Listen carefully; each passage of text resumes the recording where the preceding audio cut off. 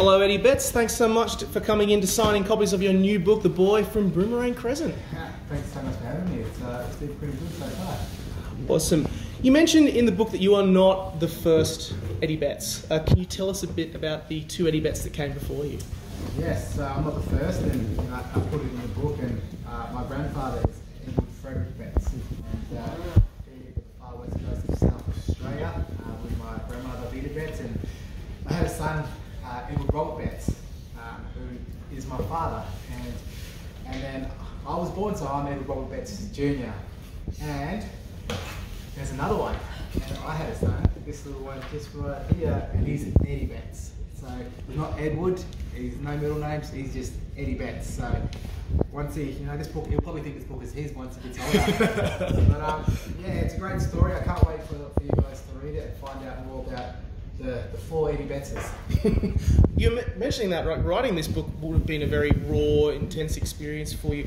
Was there a part of your life when you were writing about it that you that you made you looked back on it in a, in a kind of new or different way? Yeah, it is, you know, going back and reliving your childhood. And my memory is blank a little bit, and I, had, I needed some help with family to, to remember what happened when I was little, and it was just my brain just blocking out stuff that happened in, in my youth years. But, um, you know, I learned a lot um, of, of my younger self, and, and if, I had, if I had to tell my younger me what to do now, just to keep being you, keep making the mistakes you made along the lines, because it, you know, turned you into the person that you are today. Mm. Um, yeah, it was it was great, great writing the book, and you know, really pleased with how, how it's finished. Yeah, absolutely. What do you hope you know your readers who you're signing the copies for will uh, will get from from ch- checking your book out?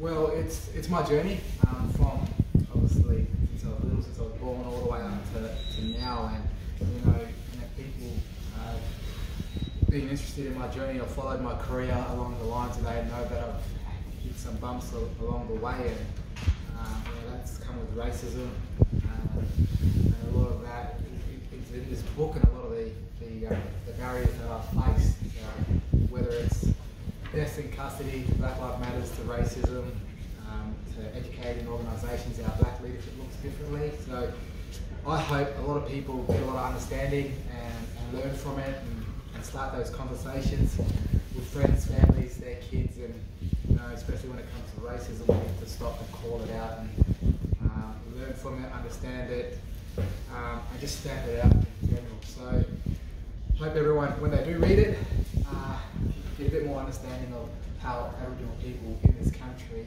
um, that we start from here, we have to work out butt off to, to achieve something great. So hope you enjoy it. Absolutely. And then last of all, what did writing the book teach you?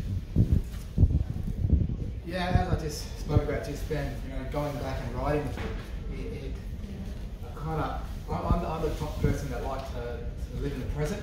I don't like to, look to the future. I do plan and, and invest, but, you know, and then I go back to the past and, and I don't want to think too much because there's a lot of death and a lot of um, stuff that happened in the past and I just like to live in the present and uh, looking back on it going through it, I kind of picture myself in the journey that I've had. So knowing how hard it was and um, to, to achieve what I've achieved now, it kind of taught me that you know that hard work pays off.